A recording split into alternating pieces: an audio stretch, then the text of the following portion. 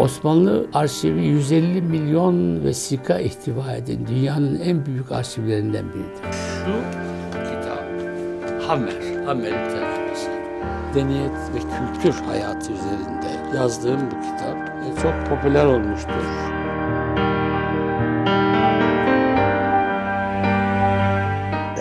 Sefareti padişah sarayına faik bir mevkide ve görünümde.